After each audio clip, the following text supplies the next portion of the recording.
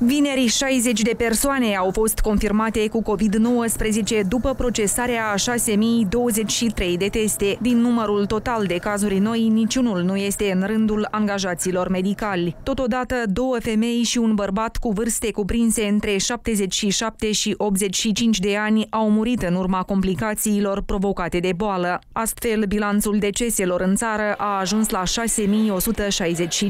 În prezent, în spitale sunt internați 100 154 de pacienți infectați cu SARS-CoV-2, dintre care 43 sunt în stare extrem de gravă și 9 sunt intubați. Pe parcursul zilei de vineri, 82 de oameni s-au vindecat de COVID-19.